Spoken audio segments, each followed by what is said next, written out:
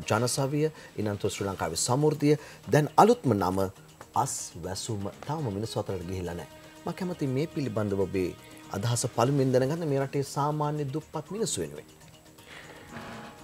IMF deal එක නිසා මේ රටේ විශාල ප්‍රමාණයකට දසලක්ෂ සංඛ්‍යාත ජනතාවට දැඩි ආර්ථික පීඩනයක් නිර්මාණ වෙලා තිබෙනවා.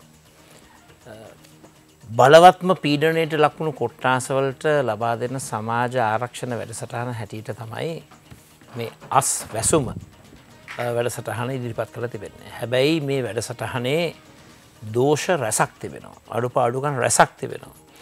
මම කැමති ඒව පිළිබඳව තර්කානුකූලව සංඛ්‍යාත්මකව දත්ත මත පදනංව සාක්ෂි මත පදනංව මේ රටේ ජනතාව දැනුවත් කරන්න අස් වැසුම දැන් වෙලා තියෙන්නේ රටේ ජනතාවගේ ඇස් වහලා ක්‍රියාත්මක වෙන රටට ඇත්ත වශයෙන්ම ප්‍රතිඵලදායි පැත්තෙන් අඩු ප්‍රතිඵලදායි වැඩ සටහනක් හැටියට තමයි ක්‍රියාත්මක. ඔබ ඇයි එහෙම කියන්න අපි පොයින් ෆෝර්ම් එකෙන් කෙටි සාරාංශගත කරොත් එක දෙක තුන හතර හැටියට ඔබතුමා ඇයි මේ ජාතික වැඩසටහන මේ ආකාරයට හැල්ලුවට ලක් කරන්නේ. පළවෙනි කාරණාව මේ වැඩසටහනට සම්පූර්ණයෙන්ම වැය කරනවා බිලියන අටසේ විසි හතරක්. හරි රුපියල් බිලියන. එයින් ගෙවීම් හැටියට ගෙවන්නේ රිජු ප්‍රතිලාභ හැටියට යන්නේ බිලියන හාරසය අනුතුනයි. තට ඉතුරු බිලියන තුන්සිය තිස්ස එක ගැන දළවසෙන් කතාකරොත් පොඩ්ඩක් අඩු වැඩි වශයෙන් බැලුවොත්.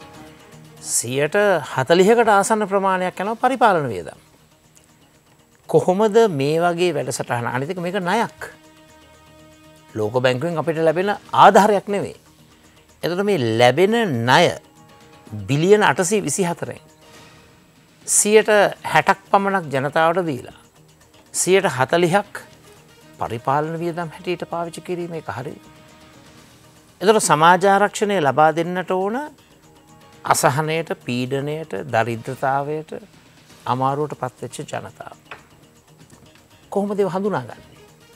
ඒ හඳුනාගන්න ක්‍රමවේදේ ගැටලු ගණනාවක් තිබෙනවා. එක බොහොම සබ්ජෙක්ටව ඔබ්ජෙක්ටව් නෑ එකන්නේ මේ මේ අපක්ෂපාතිය නෑ. ඕනම කෙනෙකොට පක්ෂපාතිත්වය තුළ එක හසුරුවන්න පුළු දැන් සංක්‍රාන්තික අවදානම් දුප්පත් උග්‍ර දුප්පත් කියලා කොට්ටාස හතරකට ජනතාව වෙන් කරනවා.